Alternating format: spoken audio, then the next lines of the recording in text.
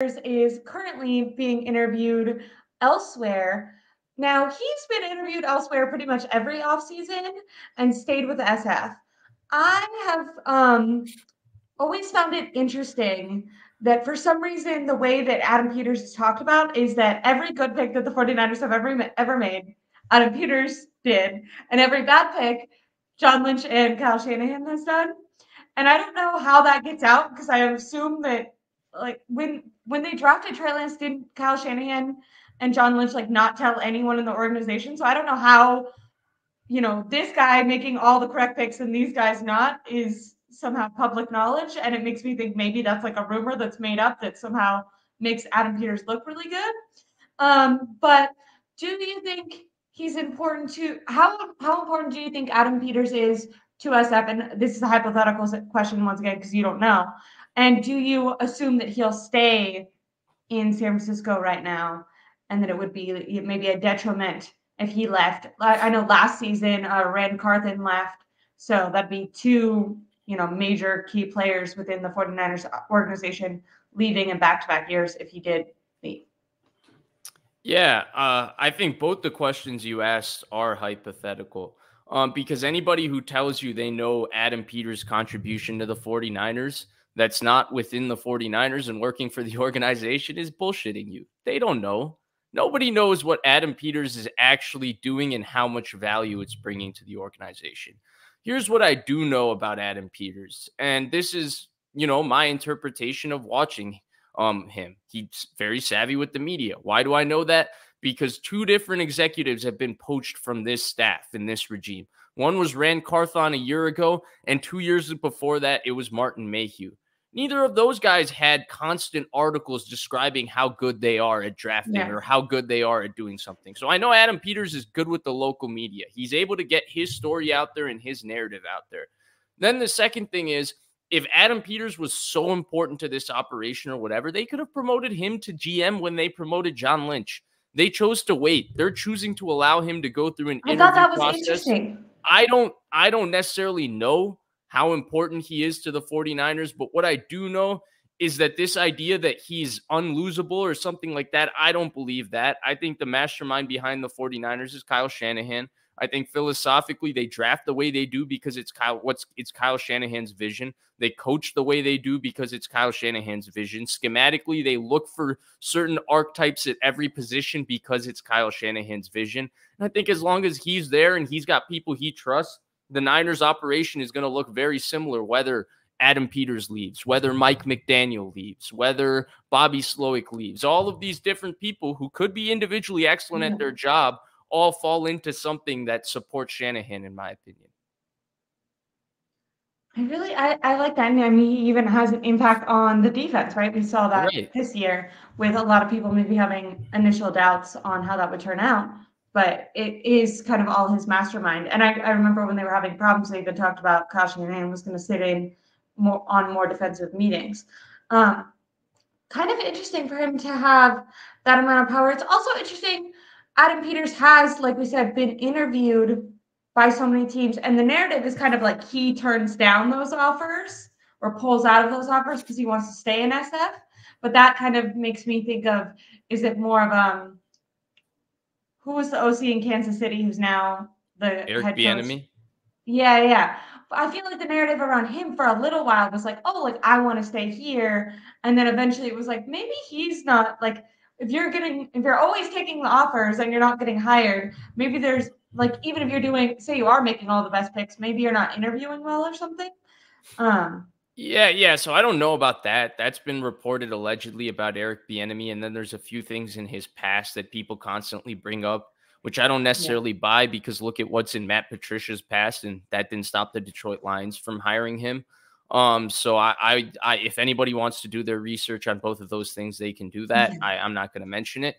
Um, what I will say about Peters is I think a lot of I feel the like hiring the only process. Peters pick was Ambry Thomas, right? Didn't that's he himself? Yeah, that's what John Lynch has told us right yeah. after the pick that it was he who pushed for that pick.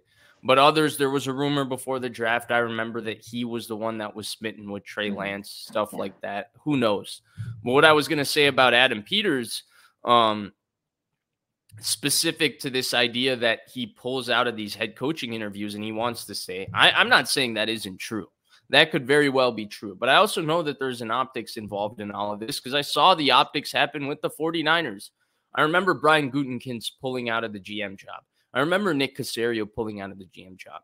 Now we got information after the fact that the Niners had agreed with Kyle Shanahan and they were looking for GMs to fulfill what Shanahan wanted, which wasn't what Gutekunst was looking for, which wasn't what Caserio was looking for.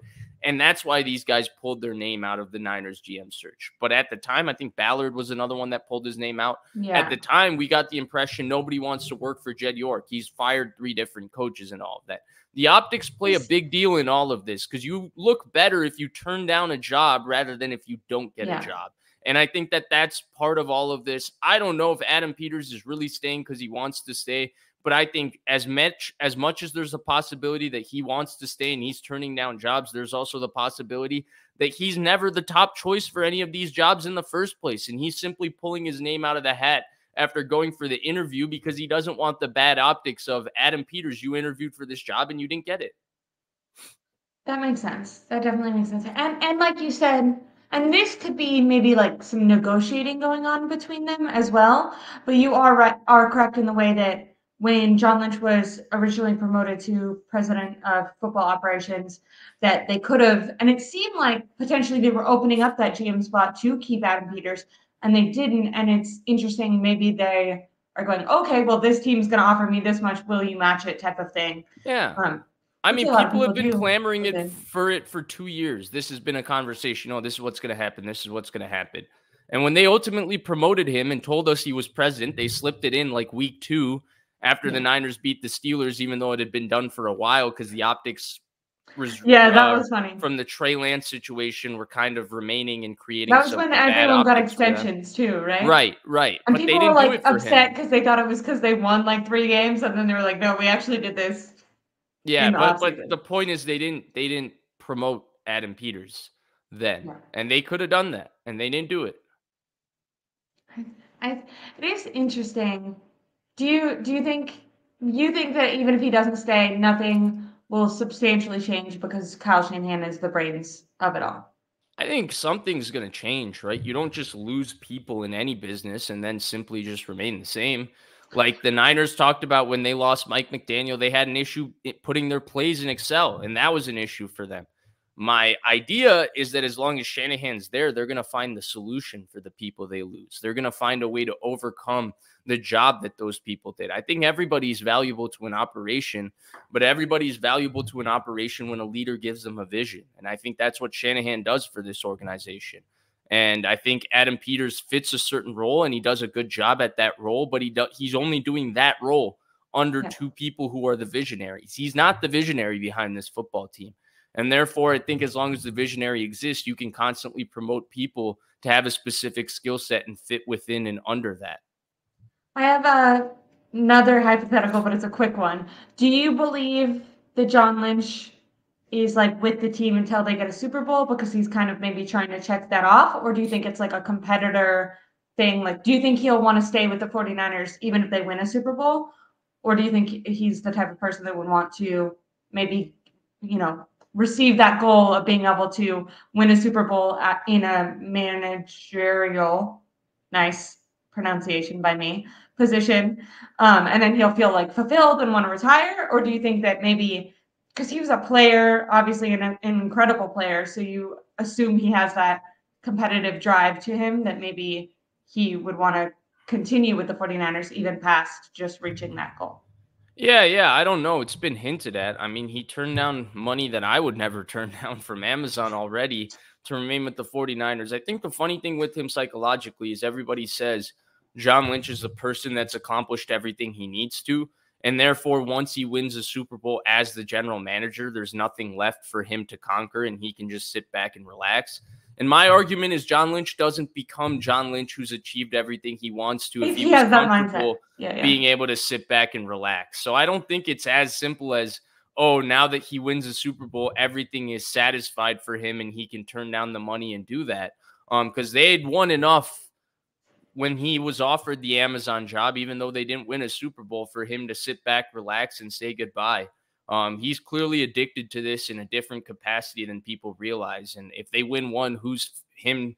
Who's not to say that he doesn't look at it and says, "Let's go win two. Yeah, yeah, run it back type of thing. I I agree. I I find that people who have that competitive edge to them, it doesn't. It's not something that's easy to turn off. It doesn't matter if he has, you know, like a nice a nice house in San Diego. He that's not what gets him out of bed in the morning. You know, um, and and I'm obviously speaking for someone I don't know, but I just mean when you talk about players um, who have that sort of mindset, who have done you know had their own podcasts or biographies about them, it's kind of something that doesn't go away even after they stop playing. And so it's nice when they can find this competitive edge through something else.